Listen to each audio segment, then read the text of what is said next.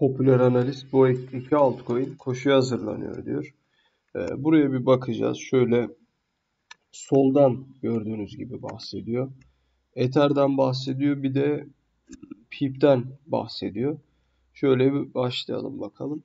Bir kere ana duruma baktığımızda zaten bunların üçünün de bu sezonun 10 numara 5 yıldız kripto paraları olduğunu açıkça biliyorsunuzdur diye düşünüyorum. Ether, Sol, Pip yani üçü de oldukça yüksek korelasyonu bulunan, gerçekten çok yüksek korelasyonu bulunan yani BTC ile birebir uyumlu hareketler gerçekleştiren varlıklardır. Yani üçü de bu şekilde.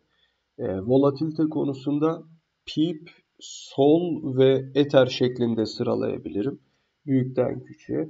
Tabi Sol coin'in katlama oranı daha yüksek oldu ama iş değişir benden söylemesi. Evet ya bu şekilde. Üçü de sağlamdır yani. Onu anlatmaya çalışıyorum aslında. Acemi traderlara e, yatkın kripto paralardır. Acemi traderları memnun edebilecek kripto paralardır. Bu noktada korelasyonu yüksek olduğu için hani böyle garip sorular sorulmaz işte neden yükselmedi de işte carttı cırttı falandı filandı e, muhabbetlerine girilmediği için genelde yatırımcı da panik yapıp erken çıkıp falan böyle mağdur olmuyor. Böyle avantajları var yani. O yüzden Yoksa tabii ki diğer pek çok altcoin'de bulunmaktadır. Kripto para piyasası spot Bitcoin ETF koşusunun ardından konsolide oluyor. Lider kripto Bitcoin 46 bin dolar etrafında dolaşırken lider altcoin Ether 2600'de bulunduğunu ifade ediyor. Ya piyasada öyle bir volatilite var ki inanılmaz. Mesela en son bakın 42.5'lara kadar düştü. Altına yani öncesinde altına iğnelemişti. Ee, şuydu buydu farklı işler oldu. Ya ondan sonra şimdi tekrar 43 bini geçti falan. E yani bu tarz olaylar var. Yapılacak çok da fazla bir şey yok. Ama var yani bunlar diyorum ya. Yapacak bir şey yok. Dolayısıyla volatilitenin farkında olarak e, kişi kripto para birimi alırsa, volatilitenin farkında olarak hareket ederse e, iyi olur. Evet. Devam edelim burada. Bununla birlikte popüler kripto analisti Ali Martinez Ethereum için diyor e, düşüş işareti gösterdiğini belirtti. Zannetmiyorum Ethereum'da e, düşüş yaşanacağını ya da herhangi bir sıkıntı yaşanacağını. Ether şu anda çok güçlü. Hala tam bir performans göstermedi. Düşüş yaşayacağını düşünmüyorum demeyeyim. Diğer altcoin'lerden daha kötü bir fiyat performansı göstereceğini düşünmüyorum şeklinde söylesem daha doğru olur sanırım.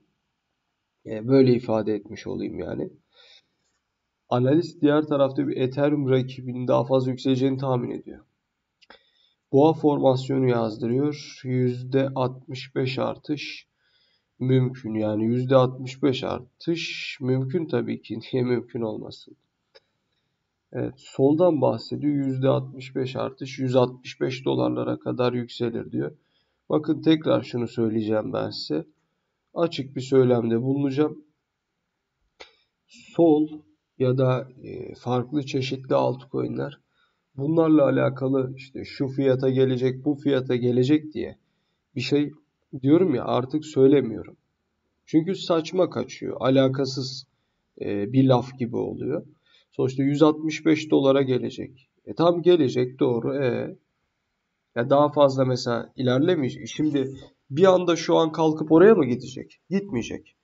Ya da daha ileri bir vakitten bahsediyorsak orada mı kalacak? Daha fazla ilerlemeyecek mi? O yüzden mi 165 dolardan doları telaffuz etmiş olduk biz burada? Yok.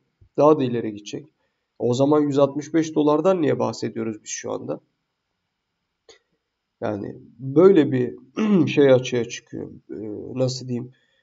Bu şekilde garip bir bakış açısı ortaya çıkıyor. Yani dolayısıyla durum budur yani. Ne diyebilirim ki bu noktada? 165 dolar. Daha da ilerisi olur. 2024 istikrar yılı dedik de. Olur yani. Daha da ilerisi olur. PIP'ten yükseliş hamlesi bekliyor. 19 pozisyonuna kadar e, yükseleceğini ifade ediyor. Dediğim gibi daha da ilerisi olur.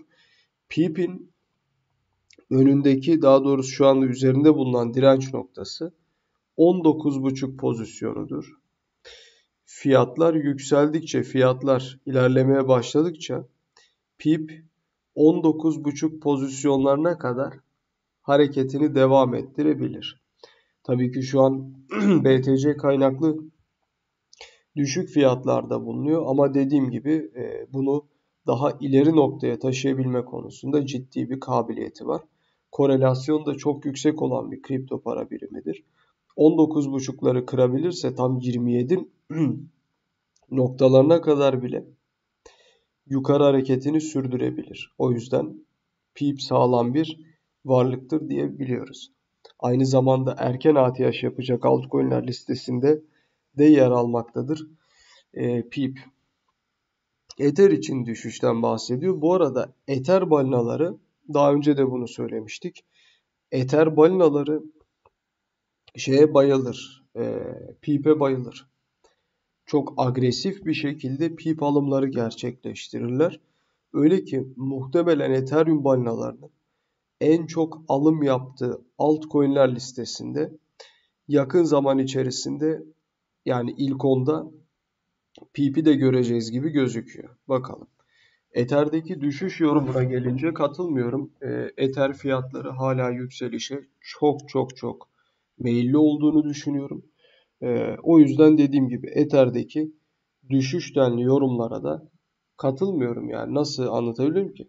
Ha, fiyatlar geri çekilebilir ama bunlar bir makul geri çekilmeler olur. İki piyasadaki genel geri çekilmelerden vesaire daha ileri bir oranda bir geri çekilme olmaz. Evet. Yani bu şekilde bir farklılık gösteriyor piyasa geneliyle. Ether aynı zamanda tabii ki de ETF olaylarından kaynaklı olarak bu kadar güçlü yükselişler gerçekleştirdi ve gerçekleştirmeye başladı. Ee, bunu devam ettirecektir. Belli bir süre daha da e, fiyatlarında artışlar gerçekleşmeye devam edecektir. Dolayısıyla durumu özellikle bakın özellikle Ether fiyatlarındaki yükseliş ETF'ler kabul edildiğinde gerçekleşecektir. E zaten er ya da geç bu ETF'ler kabul edilecek. O yüzden e, çok fazla konuşulacak bir şey de yok bu konuda.